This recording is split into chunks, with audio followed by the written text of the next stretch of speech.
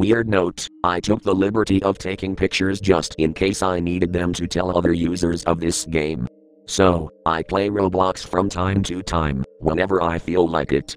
It's an okay game in total, it's only the community that needs fixing.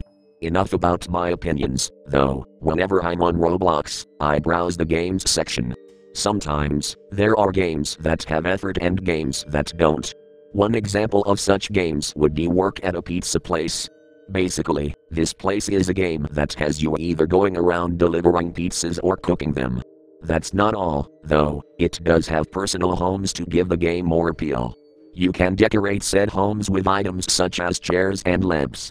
Anyways, on with the story, I decided to play work at a pizza place because I had nothing better to play on Roblox.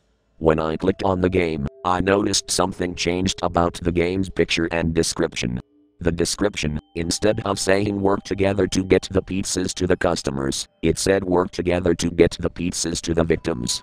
I'm not sure if it was a really late April Fool's joke, not likely, or something else. I came up with the assumption that it was probably a joke, what with people eating pizzas described as victims. Anyways, I pressed play and it loaded up a game server that had no one in it. It must have been luck to join a server that's completely empty, but I expected people to join.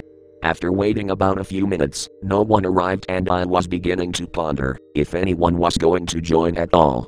As I was waiting for nothing, I decided to explore the empty place. I went to my house to just hang out for a bit when I noticed something was going on. One of the walls in my house was turning around, as if there was some sort of spin script inside.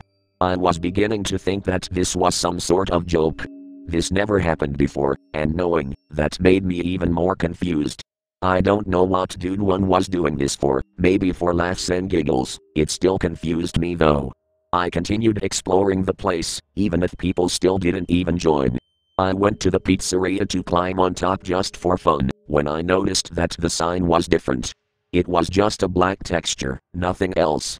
This is where my computer started to act up. As I was staring at the black texture, my computer time was going crazy.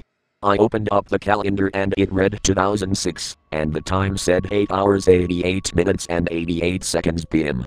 I was confused at this point, so I decided to just close the Roblox game, thinking I was just tired, was 2.05 am at the time. Going to sleep always helps but in this case it is very creepy. It feels like I'm set in back in time.